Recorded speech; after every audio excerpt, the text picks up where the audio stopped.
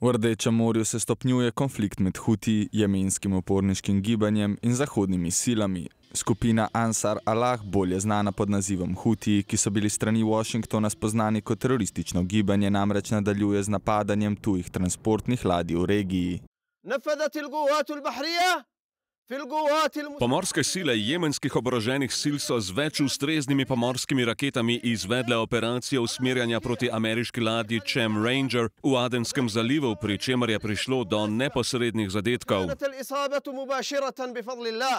Zaradi nadaljnih napadov upornikov financiranih strani Teherana, ki so se aktivirali v podporo palestincem po odzivu Izraela na Hamasov napad 7. oktobra, pa ameriške in britanske sile odgovarjajo z raketnimi napadi na strateške položaje v Jemnu. Če sprašujete, ali raketni napadi zaustavljajo Hutije, ne. Ali se bodo nadaljevali? Da. V zračnih napadih v Jemnu je bilo uničenih tudi več hutijskih objektov, namenjenih za hranjenje raket in brezpilotnih dronov, kar po mnenju iranskih priležnikov nakazuje na neizbežen konflikt. Jemenske oborožene sile potrjujejo, da bo odgovor na ameriško in britansko agresijo neizogiben in da vsaka nova agresija ne bo ostala brez odgovora in kazni. Te dogodki pa vzbujajo strah v mednarodni skupnosti, da se bodo razmere na Bližnjem vzhodu dokončno razplamtele in prevesile v dolgotrajen vse splošen konflikt. Da ne miru v regiji ni videti konca, so potrdile tudi izraelske oblasti. Preprosto in iskreno povem, da bo za zmago nad Hamasom potrebnih še veliko mesecev, vendar smo odločeni, da jo bomo dosegli.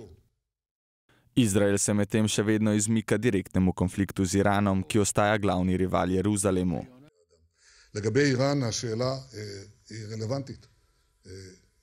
Kdo vam je rekel, da ne napadamo Irana? Napadamo. Iran je glava hobotnice, lovke vidite povsod naokoli. Vse, kar vidite, od Hutijev do Hezbolaha in Hamasa, zatem stoji Iran.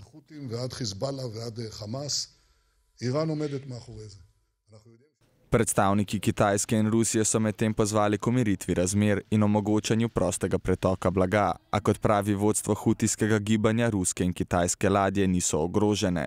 Njihov edini cilj ostaja zvišati gospodarske stroške judovske države, da bi ustavili pokol v Gazi, zaradi česar so pod udarom vse ladje, ki so kakorkoli povezane z Izraelom.